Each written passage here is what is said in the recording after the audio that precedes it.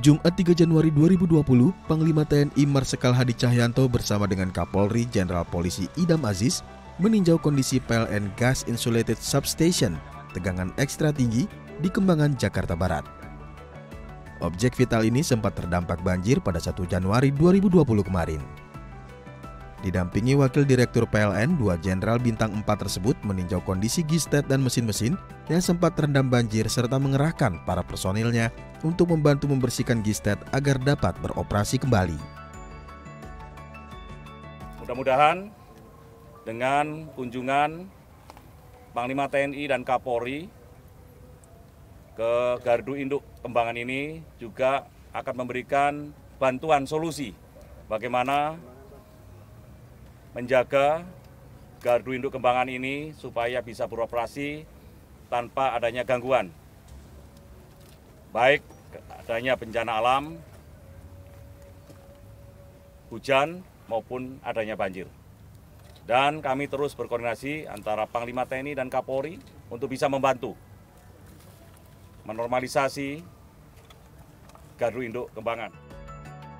Tak hanya meninjau Gistet PLN, Panglima TNI bersama Kapolri juga memberikan bantuan kepada para warga RW 07, Kelurahan Karet Tengsin, Kecamatan Tanah Abang, Jakarta Pusat, yang juga terdampak banjir pada selasa lalu.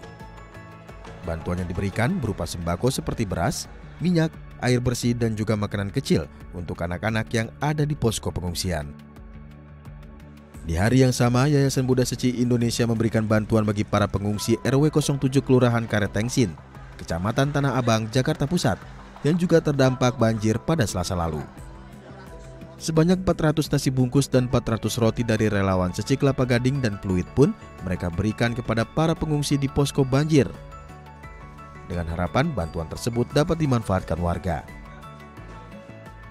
Ya, ini hanya untuk sedikit memberi yang mereka butuhkan dasarnya aja, karena banjir ya, mungkin mereka bisa nggak bisa masak di rumah, kita utamakan nasi siap saji aja untuk mereka makan. Uh, untuk mungkin nanti menyusul ada, ada handuk, ada selimut, alat mandi gitu. Nah, untuk mereka pakai untuk sehari-hari aja gitu. Marhadi, Ketua RW 07 pun menyambut baik adanya bantuan yang diberikan oleh Yayasan Buddha Seci Indonesia. Kami selaku warga RW 07 sekaligus Ketua RW mengucapkan terima kasih atas bantuan dari Yayasan Bunda Suci yang selalu hadir apabila RW 07 ini mengalami musibah, baik musibah kebakaran maupun musibah kebanjiran.